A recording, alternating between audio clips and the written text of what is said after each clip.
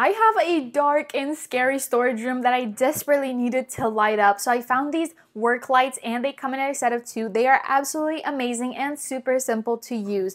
They do have magnets on the bottom so they really grasp well to any metal surface and they also have the tripod thread if you want to use that. Moreover, they have a little hook that is built in. This blew my mind that the hook is right there whenever you need it and tucked away when you don't need it. This spins 360 degrees to give you the best angle for your light and there's so many different modes and you can also adjust the brightness. So watch that. My goodness, it's so, so bright. There's three levels first for the light and then you also have a red light and a UV light as well. This is such an incredible gadget and it tells you how much charge it actually has and lets you dim the light as well as you want it and turn it off with the fifth push. I absolutely adore this and I think it's super great for anyone who has to work in a dark place or wants to light something up very, very well. It does come with the rechargeable cables and you recharge it here at the top.